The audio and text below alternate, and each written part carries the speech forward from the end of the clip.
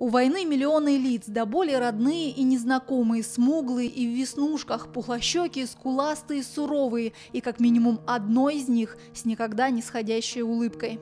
Эм, Ну, мой сын говорит, мам, ты знаешь, что я нашел интересное? Я говорю, а что, сынок?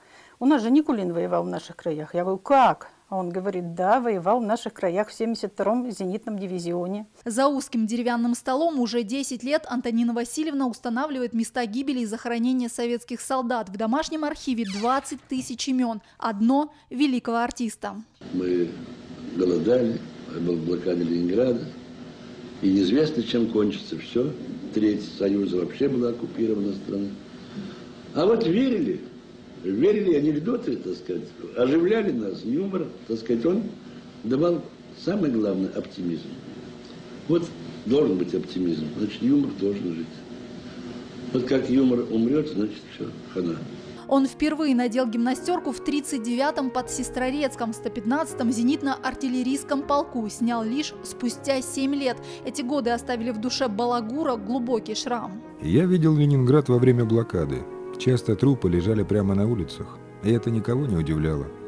Бредет человек по улице, вдруг останавливается и падает. Умер. На долю выпала затяжная оборона Ленинграда, дни без еды и сна под пулями и взрывами. Вышел я подышать свежим воздухом и услышал, как летит снаряд. А больше ничего не слышал и не помню. Очнулся контуженный в санчасти, откуда меня снова отправили в госпиталь, уже в другой. Это случилось в 43-м, где-то между Колпино и Красным Бором. Из очередного госпиталя на поле боя Никулин вернулся уже при усах. Книга почти серьезная, и это, что Антонине Васильевне лично прислал сын актера, теперь главные экспонаты небольшой школьной выставки. Из фотографий и текстов сложен портрет, но не великого комедианта 20 века, а малоизвестного героя. Как-то они зашли в блиндаж, в котором были немцы. Ну и там захотели покушать. И вдруг ползет мышка. Ну и один солдат и говорит, ой, что это за мышь? Э, То есть хотел ее ударить.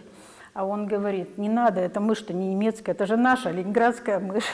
И когда он приехал, э, вернулся домой и рассказал эту историю отцу, отец ему сказал, что ты совершил героический поступок.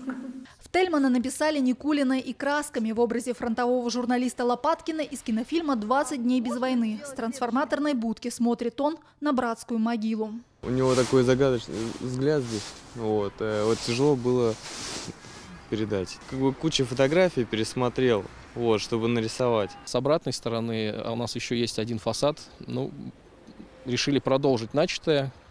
Э, Соответственно, тематику мы избираем, наверное, э, актуальную тоже в этом году. Это сем- 75-я годовщина освобождения Ленинграда от э, блокады. Пока здесь лишь одно лицо, но за ним миллионы судеб тех, кто, как Никулин, прорвал блокаду. Навсегда вошло в мою жизнь 14 января 1944 года. Великое наступление, в результате которого наши войска сняли блокаду и отбросили фашистов от Ленинграда. Была продолжительная артиллерийская подготовка. 20 градусов мороза, но снег весь сплавился и покрылся черной копотью. Многие деревья стояли с расщепленными стволами. Когда артподготовка закончилась, пехота пошла в наступление. Если бы я сейчас его встретила, я бы, наверное, его вот обняла бы и просто встала перед ним на колени.